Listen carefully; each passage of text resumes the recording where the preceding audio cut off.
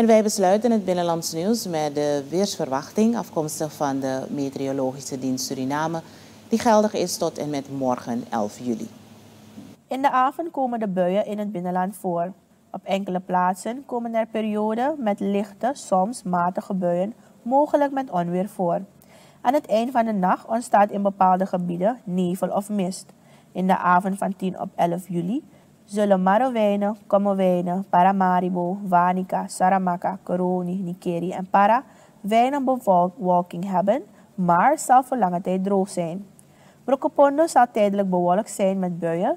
In Sipaliwini komen perioden met onweersbuien voor, die soms gepaard gaan met windstoten. Morgenochtend blijft het voornamelijk droog. In de middag en begin van de avond zijn er perioden met lichte tot soms matige buien op sommige plaatsen, soms met onweer en windstoten.